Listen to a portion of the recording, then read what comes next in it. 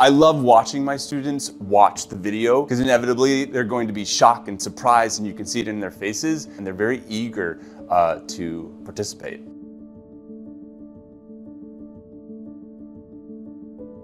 My favorite uh, retro report video to show in class is the Love Canal video. Um, there are lots of great stakeholders in there. Seeing them revisit the case uh, years, decades later is very fascinating. For environmental science, uh, when you start getting into uh, pollution and climate change, um, I think that a fantastic video is the ozone uh, hole.